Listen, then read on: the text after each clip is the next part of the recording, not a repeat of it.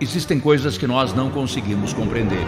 Fatos incríveis, fantásticos, extraordinários, sobrenaturais. Coisas que estão além da imaginação.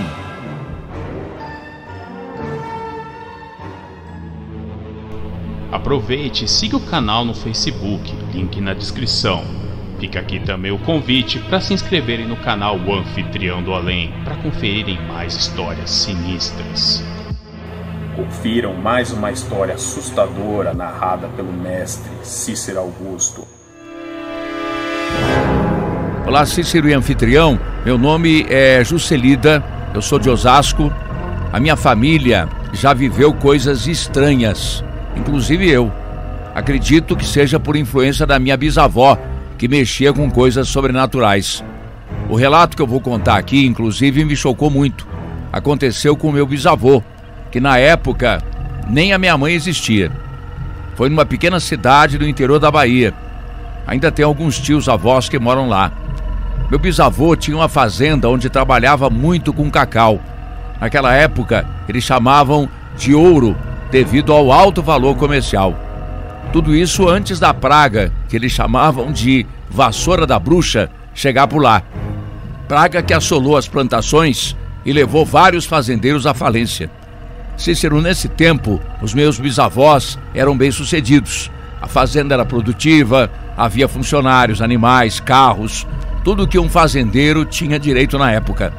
Meu bisavô era muito conhecido na região pela sua simplicidade e pelo seu cavalo de estimação, que somente ele podia montar, além do seu bom humor. Era aquele tipo de pessoa que era a primeira a ser convidada para as festas.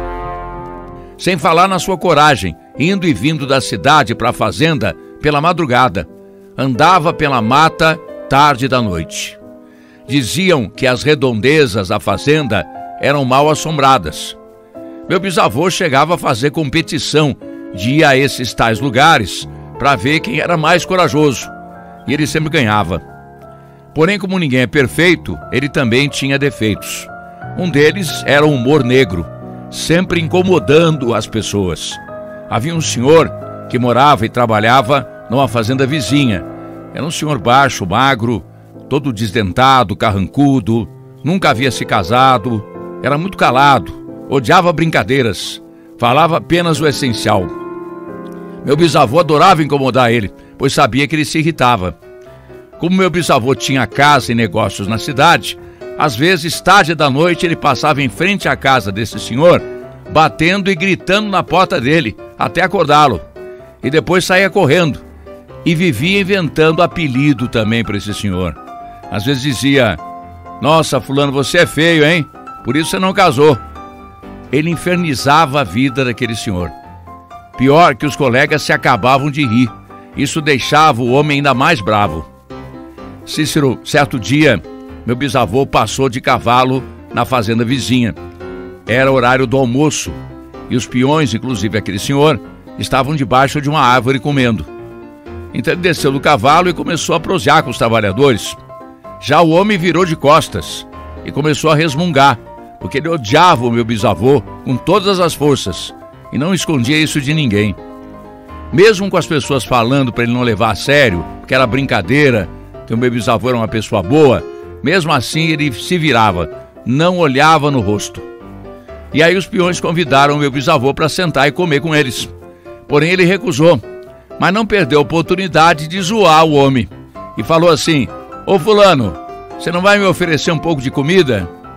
Ele respondeu: Me deixa comer em paz. Meu bisavô retrucou: Vamos, me dá um pedaço de carne. Todos começaram a dar risada da situação. Então o homem se distraiu um certo momento e o meu bisavô aproveitou o momento, pegou um pedaço de carne do prato dele e saiu correndo. E o senhor ficou tão brabo que pegou o facão e saiu correndo atrás dele xingando.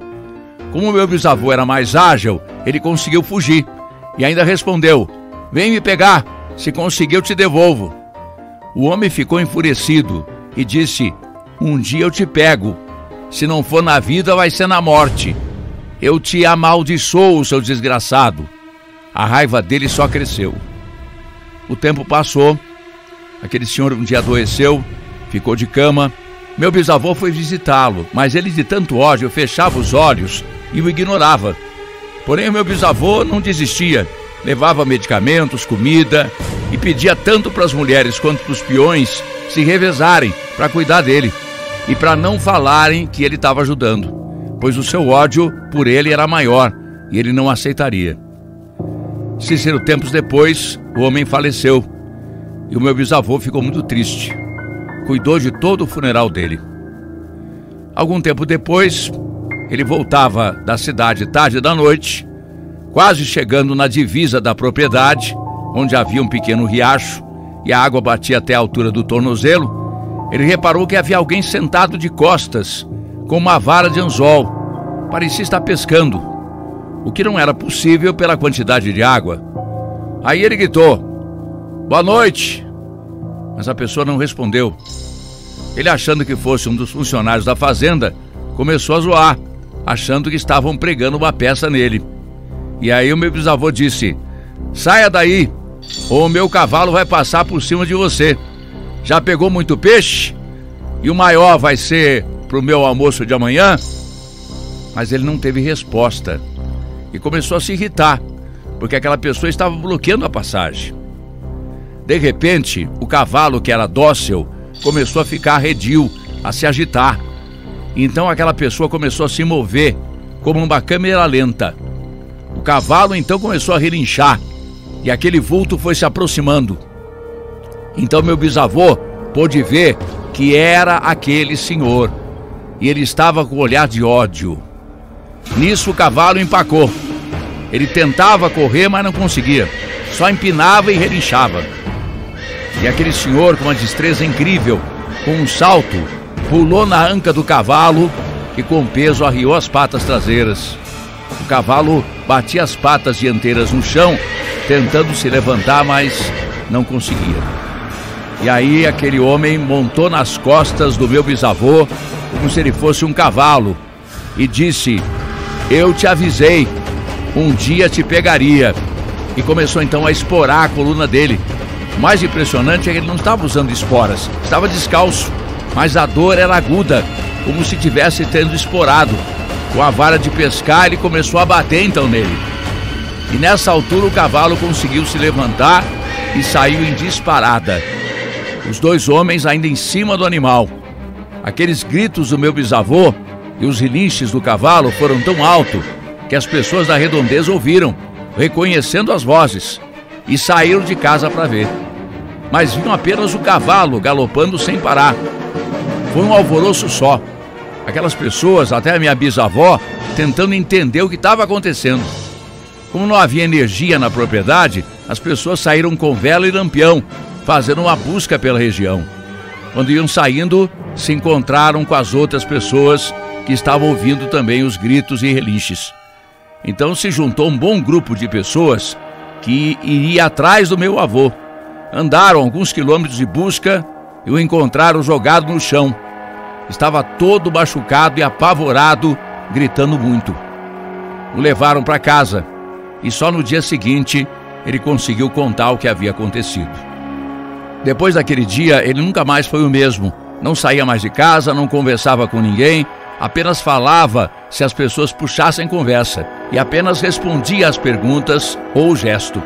Se sentava em algum lugar e ficava lá por horas, sem falar nas crises que tinha, vendo aquele senhor, e ficou assim até falecer. Alguns anos depois, o cavalo apareceu algumas vezes na propriedade do meu bisavô ou pelas redondezas. Aquele cavalo que era antes tão dócil, depois do acontecido, algo mudou e ninguém mais conseguia se aproximar dele, nem mesmo os outros animais. Acabou virando um cavalo selvagem e depois de um tempo ninguém mais o viu pela região. Cícero, esse relato pode parecer surreal, mas acredito que essa história realmente é verdadeira, pois pelo que falavam, meu bisavô nunca mais foi o mesmo. Imagino que para ele aquilo tudo que ele viveu foi mesmo algo além da imaginação.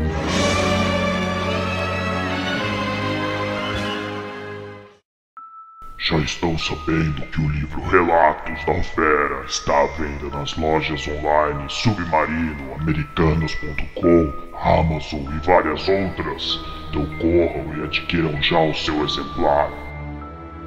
Nos vemos em breve aí na sua casa. Gostaram dessa história? Vocês acham que realmente aconteceu isso? Deixem aí seus comentários, não esqueça o like e compartilhar o vídeo nas suas redes sociais. E se inscreva no canal se não for inscrito. Nos vemos no próximo vídeo. Até mais.